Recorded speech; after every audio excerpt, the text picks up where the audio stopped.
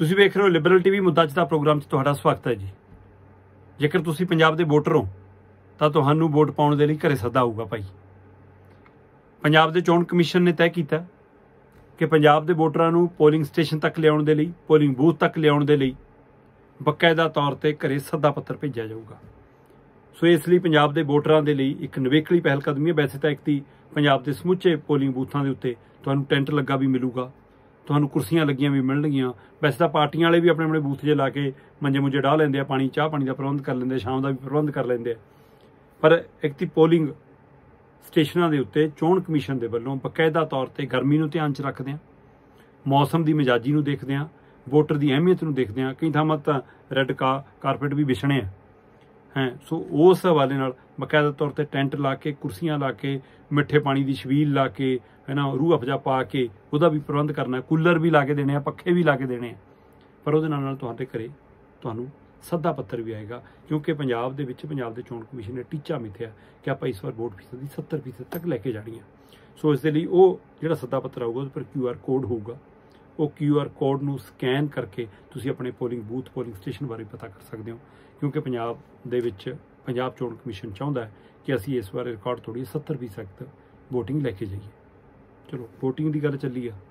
ਤੇ ਇੱਧਰ ਤਾਂ ਖੇਲਾ ਹੋ ਗਿਆ, ਕਹਿੰਦੇ ਭਾਈ। ਭਾਈ 11 ਦਿਨਾਂ ਬਾਅਦ ਕਹਿੰਦੇ ਵੋਟ ਪਰਸੈਂਟ ਵੱਧ ਗਈ। 19 ਅਪ੍ਰੈਲ ਨੂੰ ਪਈਆਂ ਵੋਟਾਂ। 30 ਅਪ੍ਰੈਲ ਨੂੰ ਪਤਾ ਲੱਗਿਆ ਕਿ 6% ਤਾਂ ਵੱਧ ਪਈਆਂ ਜੀ ਵੋਟਾਂ। ਹੁਣ ਇਹਨੂੰ ਨਲਾਇਕੀ ਕਹੀਏ। ਸਿਸਟਮ ਦੀ ਬੇਭਰੋਸਗੀ ਕਹੀਏ।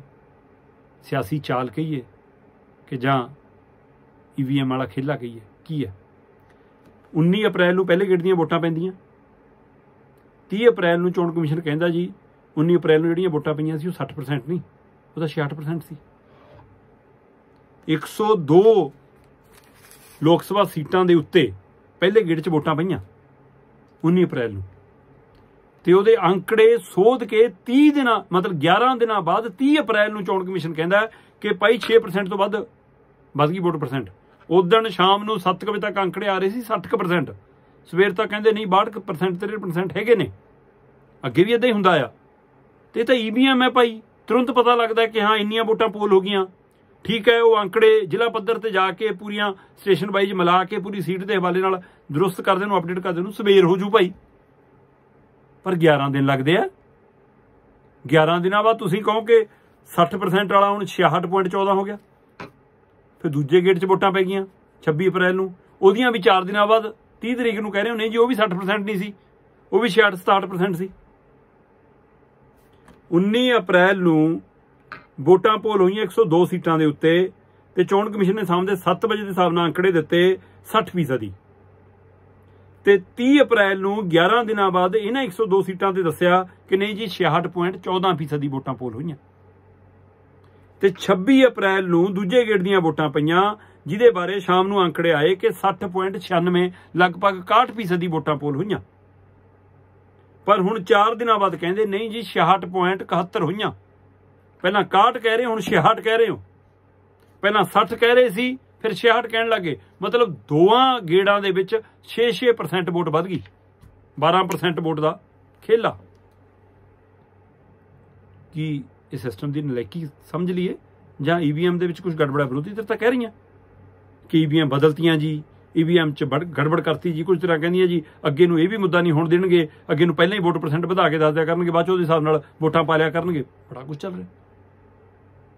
ਪਰ ਤੁਸੀਂ ਹੈਰਾਨ ਹੋਵੋਗੇ ਇਹ ਗੱਲ ਜਾਣ ਕੇ ਕਿ ਔਸਤ ਮੈਂ 6% ਦੀ ਗੱਲ ਕਰ ਰਿਹਾ। ਬੇਸ਼ੱਕ 2019 ਦੀਆਂ ਵੋਟਾਂ ਨਾਲੋਂ ਅਜੇ ਵੀ ਘੱਟ ਹੈ। 2019 ਦੇ ਵਿੱਚ 67.40 ਤੇ ਪਰਸੈਂਟ ਕਈ ਵੋਟਾਂ ਪਈਆਂ ਸੀ। ਇਸ ਵਾਰ ਹੁਣ ਵੀ ਇਹ 66.14 ਤੇ 66.71 ਕਹਿ ਰਹੇ ਨੇ ਪਹਿਲੇ ਔਰ ਦੂਜੇ ਗੇੜ ਦੀਆਂ। ਜਿਹੜੀਆਂ ਸੋਧ ਕੇ 11 ਤੇ 4 ਦਿਨਾਂ ਬਾਅਦ ਆਈਆਂ। ਪਰ ਇੱਧਰ ਇੱਕ ਨਵਾਂ ਪਹਿਲੂ ਹੈ। ਕਿ ਔਸਤ ਹੈ ਕਿ 6% ਵੋਟਾਂ ਵਧੀਆਂ। ਜੇ ਮੈਂ ਪਹਿਲੇ ਗੇੜ ਦੀ ਗੱਲ ਕਰਾਂ 19 ਅਪ੍ਰੈਲ ਦੀ। 19 ਅਪ੍ਰੈਲ ਨੂੰ ਇੱਕ ਸੂਬੇ ਦੇ ਵਿੱਚ ਜਨਾਬ ਕਹਿੰਦੇ ਨੇ ਕਿ 60% ਵੋਟ ਪੋਲ ਹੋਈ ਹੈ ਜੀ। ਕਿ 59.2% ਵੋਟਾਂ ਪੋਲ ਹੋਈਆਂ, ਮਤਲਬ 60% ਦੇ ਕਰੀਬ।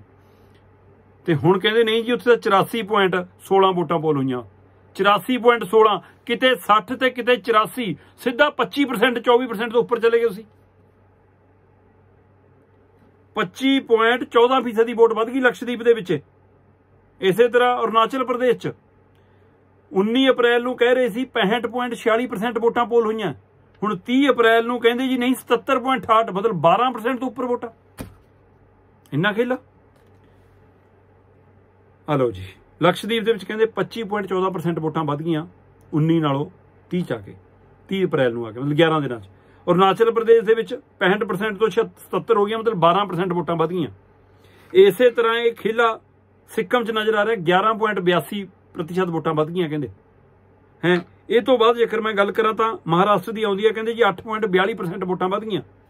ਇਹ ਤੋਂ ਬਾਅਦ ਕਹਿੰਦੇ ਜੀ ਤਾਮਿਲਨਾਡੂ ਦੇ ਵਿੱਚ ਵੀ 7.53% ਵੋਟਾਂ ਵੱਧ ਗਈਆਂ। ਇਹ ਤੋਂ ਬਾਅਦ ਕਹਿੰਦੇ ਜੀ ਅੰਡੇਮਾਨ ਨਿਕੋਬਾਰ ਚ 7.23% ਵੋਟਾਂ ਵੱਧ ਗਈਆਂ 19 ਨਾਲੋਂ 30 ਤਰੀਕ ਨੂੰ। ਹੈ, ਇਸ ਤਰ੍ਹਾਂ ਲਗਭਗ ਸਾਰੇ ਸੂਬਿਆਂ ਦੇ ਵਿੱਚ 102 ਸੀਟਾਂ ਦੇ ਉੱਤੇ ਜਿੱਥੇ ਜਿੱਥੇ ਵੋਟਾਂ ਪਈਆਂ ਨੇ, ਉਹਨਾਂ ਸਾਰਿਆਂ ਤੇ ਯੂਪੀ ਦੇ ਵਿੱਚ ਵੀ ਕਹੀ ਜਾਂਦੇ ਕਿ 3.5% ਵੋਟ ਵੱਧ ਗਈ ਜੀ ਹੁਣ। ਪੱਛਮੀ ਬੰਗਾਲ 'ਚ ਵੀ ਕਹੀ ਜਾਂਦੇ 4.5% ਦੇ ਕਰੀਬ ਵੋਟ ਵੱਧ ਗਈ ਜੀ। ਇੱਥੋਂ ਤੱਕ ਕਿ ਬਿਹਾਰ ਦੇ ਹਵਾਲੇ ਨਾਲ ਵੀ ਕਹੀ ਜਾਂਦੇ ਨੇ ਕਿ ਹਾਂ ਜੀ 1.70% ਵੋਟ ਵੱਧ ਗਈ। ਪਰ ਆ ਤਾਂ ਭਾਈ ਹੱਦ ਹੈ। 25% ਵੋਟ ਦਾ ਵਧਣਾ, ਲਕਸ਼ਦੀਪ ਦੇ ਵਿੱਚ ਅਰੁਣਾਚਲ 'ਚ 12% ਵੋਟ ਦਾ ਵਧਣਾ, ਫਿਰ 8% 7% ਤੇ ਔਸ 6% ਵੋਟ ਵਧਣ ਦਾ ਹਵਾਲਾ ਦਿੱਤਾ ਗਿਆ। ਤੇ ਹੁਣ ਬੀਬੀ ਸਿੱਧੀ ਹੋ ਗਈ ਮਮਤਾ ਬੈਨਰਜੀ ਤਾਂ। ਕਹਿੰਦੀ ਜੀ, ਇਹ ਖੇਲਾ ਈਵੀਆਂ ਬਦਲਤੀਆਂ ਇਹਨਾਂ ਨੇ। ਇਹ ਭਾਰਤੀ ਚੋਣ ਕਮਿਸ਼ਨ ਨਹੀਂ ਹੈ। ਇਹ ਭਾਜਪਾਈ ਚੋਣ ਕਮਿਸ਼ਨ ਹੈ। ਅਸਾਂ ਪਹਿਲਾਂ ਕਹਿੰਦੇ ਸੀ ਕਿ ਪਰਚੀਆਂ ਨਹੀਂ ਵੋਟਾਂ ਪਵਾ ਲਓ ਜਾਂ ਪਰਚੀਆਂ ਮਿਲਾਉਣ ਵਾਲੀ ਪ੍ਰੋਵੀਜ਼ਨ ਰੱਖ ਲਓ। ਬੇਸ਼ੱਕ ਅਦਾਲਤ 'ਚ ਮਾਮਲਾ ਗਿਆ। ਅਦਾਲਤ ਨੇ ਕਿਹਾ ਕਿ ਭਰੋਸਾ ਰੱਖੋ, ਸਿਸਟਮ ਤੇ, ਚੋਣ ਕਮਿਸ਼ਨ ਤੇ ਐਦਾਂ ਨਹੀਂ ਹੁੰਦਾ। ਪਰ ਇਹ ਪਹਿਲੂਆਂ ਨੇ ਸ਼ੰਕਾ ਖੜੇ ਕਰਤੇ ਤਾਂ ਦੋ ਗੇੜ ਹੋਏ ਨੇ, ਪੰਜ ਗੇੜ ਰਹਿੰਦੇ ਨੇ। ਇਸ ਤੇ ਕਿਨਾਮੀ ਚਰਚਾ ਛਿੜਤੀ ਹੈ। ਕਾਂਗਰਸ ਕਹਿੰਦੀ ਜੀ ਕਰ ਤਾਂ ਦੱਸ ਦਿਓ ਕਿ 11 11 ਦਿਨਾਂ ਬਾਅਦ ਅਪਡੇਟ ਕਿਉਂ ਕਰਦੇ ਹੋ? ਤੇ ਅੱਗੇ ਕਹਿੰਦੇ 2017 ਤੱਕ ਦੀਆਂ ਜਿਹੜੀਆਂ 2014 ਤੱਕ ਦੀਆਂ ਚੋਣਾਂ ਰਹੀਆਂ, ਹੈ, ਜਾਂ ਪਿਛਲੀਆਂ ਚੋਣਾਂ ਹੁੰਦੀਆਂ ਰਹੀਆਂ, ਉਹਨਾਂ ਦੇ ਵਿੱਚ ਤਾਂ ਕਹਿੰਦੇ ਕਿ ਬਕਾਇਦਾ ਤੌਰ ਤੇ ਚੋਣ ਕਮਿਸ਼ਨ ਦੇ ਅੰਕੜੇ ਹਰ ਹਲਕੇ ਵਾਈਜ਼, ਹਰ ਸੀਟ ਵਾਈਜ਼, ਹਰ ਸੂਬੇ ਵਾਈਜ਼ ਵੋਟਰ ਕਿੰਨੇ ਨੇ, ਉਹਦੀ ਜਾਣਕਾਰੀ ਹੁੰਦੀ ਸੀ ਕਹਿੰਦੇ। ਕਹਿੰਦੇ ਹੁਣ ਉਹ ਵੀ ਜਾਣਕਾਰੀ ਗਾਇਬ ਹੈ। 2014 ਤੱਕ ਉਹ ਕਹਿੰਦੇ ਕਿ ਹਰ ਹਲਕੇ ਦੇ ਵੋਟਰਾਂ ਦੀ ਕੁੱਲ ਗਿਣਤੀ ਚੋਣ ਕਮਿਸ਼ਨ ਦੀ ਵੈਬਸਾਈਟ ਤੇ ਮੌਜੂਦ ਹੁੰਦੀ ਸੀ। ਹੁਣ ਇਹ ਪਾਰਦਰਸ਼ਤਾ ਵੀ ਨਹੀਂ ਹੈਗੀ। ਸਵਾਲ ਖੜਾ ਹੋ ਗਿਆ। ਸੋ ਇਸ ਪਹਿਲੂ ਨੇ ਇੱਕ ਨਵੀਂ ਚਰਚਾ ਛੇੜ ਦਿੱਤੀ ਆ ਕਿ ਕੀ ਕੋਈ ਖੇਲਾ ਹੋ ਰਿਹਾ ਈਵੀਐਮ ਨੂੰ ਲੈ ਕੇ? ਚਲੋ। ਇੱਕ ਖੇਲਾ ਪੰਜਾਬ ਦੇ ਵਿੱਚ ਹੋ ਰਿਹਾ ਨਸ਼ਾ, ਚਿੱਟਾ। ਪੰਜਾਬ ਦੀਆਂ ਜੜਾਂ 'ਚ ਬੈਠ ਗਿਆ, ਪੰਜਾਬ ਦੀਆਂ ਨਸਾਂ 'ਚ ਬੈਠ ਗਿਆ। ਜਵਾਨੀ ਰਾਖ ਬਣਦੀ ਜਾ ਰਹੀ ਹੈ ਤੇ ਮੁੱਖ ਮੰਤਰੀ ਸਾਹਿਬ ਤੁਹਾਡੇ ਬੋਲ ਮੈਨੂੰ ਚੇਤੇ ਨੇ। ਤੁਸੀਂ ਕਹਿੰਦੇ ਸੀ ਕਿ ਪੰਜਾਬ ਦੇ ਨੌਜਵਾਨਾਂ ਦੀਆਂ ਹੱਥਾਂ 'ਚੋਂ, ਬਾਹਾਂ 'ਚੋਂ ਸਰਿੰਜਾਂ ਫੜ ਕੇ ਉਹਨਾਂ ਦੇ ਹੱਥਾਂ 'ਚ ਟਿਫਨ ਫੜਾਉਣੇ ਆ। ਤੇ ਪਰ ਪੰਜਾਬ ਨੇ ਸਰਕਾਰਾਂ ਤਾਂ ਤਿੰਨ ਤਿੰਨ ਬਦਲਤੀਆਂ। ਅਕਾਲੀ ਤੋਰੇ, ਕਾਂਗਰਸੀ ਆ ਗਏ, ਕਾਂਗਰਸੀ ਤੋਰੇ ਤੁਸੀਂ ਆ ਗਏ।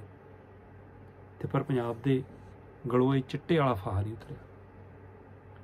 ਪੰਜਾਬ ਕੈਬਨਿਟ ਦੇ ਇੱਕ ਮੰਤਰੀ ਵੋਟਾਂ ਮੰਗ ਰਹੇ ਸੀ ਕਿਉਂਕਿ ਲੋਕ ਸਭਾ ਉਮੀਦਵਾਰ ਵੀ ਨੇ। ਮੈਂ ਹਲਕਾ ਬਠਿੰਡੇ ਦੀ ਗੱਲ ਕਰ ਰਿਹਾ, ਗੁਰਮੀਤ ਸਿੰਘ ਕੁੜੀਆਂ ਤੇ ਇੱਕ ਬੀਬੀ ਆਉਂਦੀ ਆ।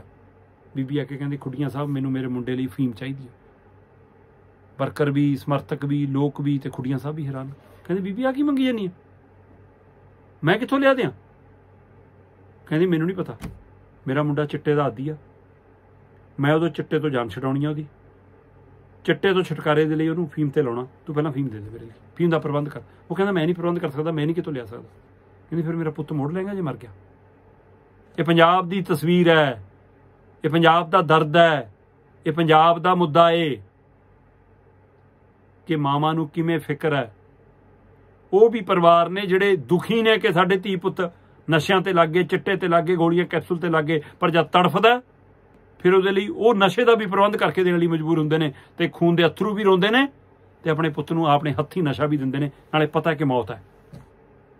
ਹੁਣੇ ਮਾਂ, ਇਹ ਬੇਬੇ ਮੰਤਰੀ ਕੋਲ ਆਈ ਹੈ, ਉਹ ਮੰਤਰੀ ਜਿਹੜਾ ਆਪਣੇ ਲਈ ਵੋਟਾਂ ਮੰਗਦਾ ਫਿਰਦਾ ਤੇ ਉਹ ਤੋਂ ਬੇਬੇ ਕਹਿੰਦੀ ਆ ਕਿ ਭਾਈ ਮੈਂ ਪੁੱਤ ਨੂੰ ਚਿੱਟੇ ਤੋਂ ਛਟਕਾਰ ਕੇ ਫੀਮ ਤੇ ਲਾਉਣਾ ਹੈ।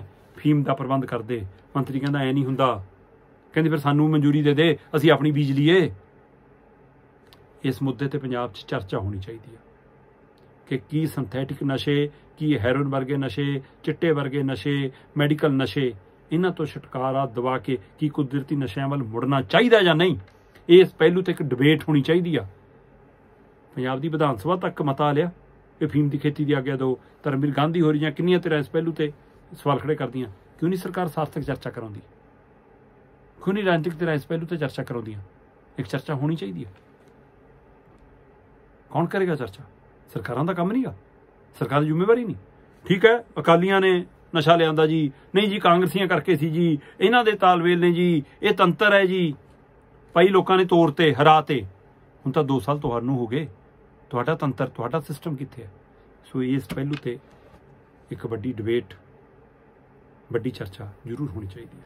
ਚਲੋ, ਪੰਜਾਬ ਦੇ ਵਿੱਚ ਸਰਕਾਰੀ ਸਕੂਲਾਂ ਦੇ ਲਈ ਇੱਕ ਸੁਖਾਮੀ ਖਬਰ ਖਾਸ ਕਰ ਸਰਕਾਰੀ ਸਕੂਲਾਂ 'ਚ ਪੜ੍ਹਦੇ ਵਿਦਿਆਰਥੀਆਂ ਦੇ ਲਈ।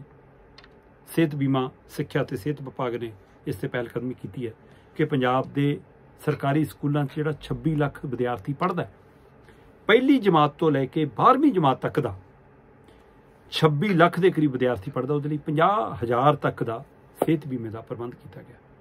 19200 ਤੋਂ ਵੱਧ ਪੰਜਾਬ ਦੇ ਸਕੂਲ ਨੇ, ਜਿਨ੍ਹਾਂ 'ਚ ਪਹਿਲੀ ਜਮਾਤ ਤੋਂ ਲੈ ਕੇ 12ਵੀਂ ਜਮਾਤ ਤੱਕ ਦੇ ਵਿਦਿਆਰਥੀ ਨੇ, ਖੁਦਾ ਨਾ ਖਾਸਾ ਕਈ ਵਾਰ ਹਾਦਸਾ ਵਾਪਰ ਜਾਂਦਾ ਜਾਂ ਕੋਈ ਬਿਮਾਰੀ, ਰੋਗ ਅਜਿਹਾ ਹੋ ਜਾਂਦਾ ਹੈ, ਤਾਂ ਡਾਕਟਰੀ ਇਲਾਜ ਦੇ ਲਈ 5000 ਤੱਕ ਦਾ ਪ੍ਰਬੰਧ ਹੈ। ਜੇ ਕਿਤੇ ਕੋਈ ਵੀਲਚੇਅਰ ਦੀ ਲੋੜ ਪੈ ਜਾਵੇ, ਕਿਸੇ ਕੋਈ ਅੰਗ ਦੀ ਲੋੜ ਪੈ ਜਾਵੇ, ਕਿਸੇ ਦਾ ਅੰਗ ਕੱਟਿਆ, ਵੱਢਿਆ, ਤਾਂ ਉਹਦੇ ਲਈ 5000 ਤੱਕ ਦਾ ਪ੍ਰਬੰਧ ਹੈ। ਜੇ ਅੰਗਹੀਣ ਹੋ ਜਾਵੇ, ਹੈ, ਕੋਈ ਅੱਖ, ਲੱਤ ਬਾਂਹ ਦਾ ਨੁਕਸਾਨ ਹੋ ਜਾਵੇ, ਤਾਂ 25000 ਤੱਕ ਦਾ ਪ੍ਰਬੰਧ ਹੈ। ਖੁਦਾ ਨਾ ਖਾਸਾ ਦੋ ਅੱਖਾਂ ਚਲੀਆਂ ਜਾਣ, ਜਾਂ ਅਪਾਹਜ ਹੋ ਜਾਵੇ ਬੰਦਾ ਪੂਰੀ ਤਰ੍ਹਾਂ, ਜਾਂ ਦੁਨੀਆ ਤੋਂ, ਅੱਛਾ, ਕੋਈ ਅਜਿਹਾ ਸਕੂਲ ਚ ਪੜਦਾ ਚਲਾ ਜਾਵੇ ਤਾਂ ਉਹਦੇ ਲਈ 50000 ਤੱਕ ਦਾ। ਸੋ 50000 ਤੱਕ ਦੇ ਸਿਹਤ ਬੀਮੇ ਨੂੰ ਅਮਲੀ ਜਾਮਾ ਪਹਿਨਾਇਆ ਗਿਆ, ਜਦੋਂ ਕਿ ਯੋਜਨਾ 2007 ਦੀ ਹੈ ਜੀ। 7 ਦੀ ਮਨਜ਼ੂਰ ਹੋਈ ਹੋਈ ਹੈ। 1 ਕਰੋੜ ਤੋਂ ਵੱਧ ਦਾ ਬਜਟ ਇਹਦੇ ਲਈ ਰਾਖਮਾ ਰੱਖਿਆ ਹੋਇਆ ਉਹਦੇ ਬਾਵਜੂਦ ਵੀ ਇਹਨੂੰ ਲਾਗੂ ਹੋਣ ਨੂੰ 2024 ਤੱਕ ਸਮਾਂ ਆ ਗਿਆ। ਚਲੋ ਦੇਰ ਆਏ, ਦਰੁਸਤ ਆਏ। ਪਰ ਇਹਦੇ ਵਿੱਚ ਇਹ ਕ੍ਰਾਈਟੇਰੀਆ ਧਿਆਨ ਰੱਖਣ ਦੀ ਲੋੜ ਹੈ। ਕਿ ਕਈ ਵਾਰ ਮਾਪੇ ਨੂੰ ਲੱਗਣਾ ਕਿ ਨਹੀਂ, ਸਕੂਲ ਸਮੇਂ 'ਚ ਵਾਪਰੀ ਘਟਨਾ ਹੋਵੇ ਤਾਂ ਹੀ ਨਹੀਂ ਜਨਾਬ। ਸਕੂਲ ਦਾ ਵਿਦਿਆਰਥੀ ਹੋਵੇ ਬਸ। ਪੰਜਾਬ ਦੇ ਸਰਕਾਰੀ ਸਕੂਲ ਦੇ ਵਿੱਚ ਪਹਿਲੀ ਜਮਾਤ ਤੋਂ ਲੈ ਕੇ 12ਵੀਂ ਜਮਾਤ ਤੱਕ ਦਾ ਜਿਹੜਾ ਵੀ ਬੱਚਾ ਪੜ੍ਹਦਾ ਉਹਦੇ ਲਈ ਸੱਤੋ ਦਿਨ 24 ਘੰਟੇ 365 ਦਿਨ ਇਹ ਯੋਜਨਾ ਲਾਗੂ ਹੈ। ਸੋ ਹਾਦਸਾ ਕਦੇ ਵੀ, ਕਿਤੇ ਵੀ, ਕਿਸੇ ਵੀ ਸਮੇਂ ਵਾਪਰ ਸਕਦਾ ਪਰ ਜੇ ਉਹ ਵਿਦਿਆਰਥੀ ਹੈ 12ਵੀਂ ਤੱਕ ਦਾ ਪਹਿਲੀ ਜਮਾਤ ਤੋਂ, ਤਾਂ ਉਹਦੇ ਲਈ 50000 ਤੱਕ ਦਾ ਸਿਹਤ ਬੀਮਾ ਕਾਬਲੇ ਤਰੀਕ ਯੋਜਨਾ ਇਸ ਲਈ ਇਹਦੇ ਉੱਤੇ ਮੈਂ ਤੁਹਾਡੇ ਤੱਕ ਖਬਰ ਲੈ ਕੇ ਆਪਣੇ ਤੁਸੀਂ ਵੇਖਦੇ ਰਹੋ ਲਿਬਰਲ ਟੀਵੀ ਲੋਕਾਂ ਦੀ ਆਵਾਜ਼, ਲੋਕਾਂ ਦੀ।